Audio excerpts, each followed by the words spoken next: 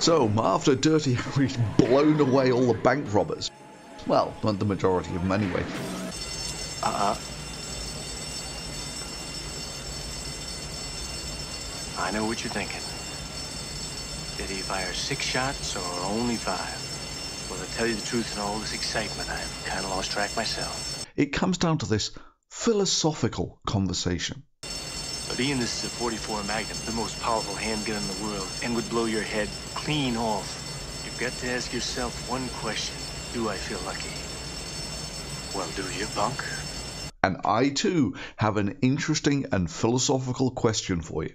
Which contains more energy, a single shell from Dirty Harry's hand cannon or an iPhone battery?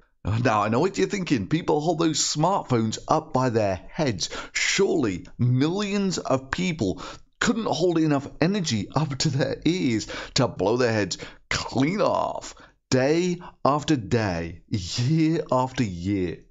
Well, my immediate go to comparison here would be that, roughly speaking, all energy storing mediums have roughly the same ability to store energy, whether they be shell propellant in guns or batteries. So for me, it would seem that a battery should easily contain more energy than a single shell from a 44 Magnum, the most powerful handgun in the world.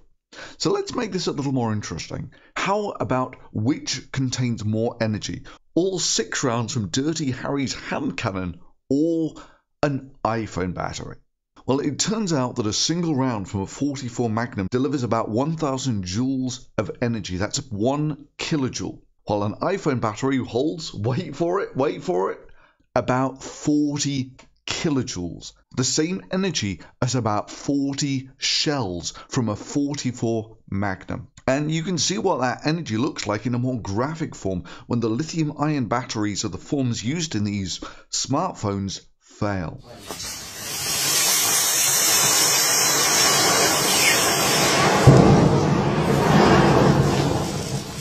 Now, sure, this energy isn't delivered in that sharp impulse as with a 44 Magnum round, but the energy is there all of the same. And thankfully, railguns aren't much of a thing yet. A railgun is a gun that uses electricity instead of gun propellant.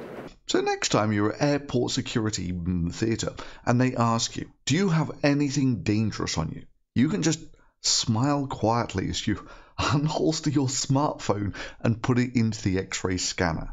Enough energy to blow your head clean off about 40 times over. Thankfully, though, mine's got a flat battery at the moment, so everyone's safe. Well, the next time someone gets their hair all mussed up about radio signals from cell phones, just let them know how much energy is stored up in that thing they put next to their ear. Ian, this is a 44 Magnum, the most powerful handgun in the world, and would blow your head clean off. You've got to ask yourself one question. Do I feel lucky?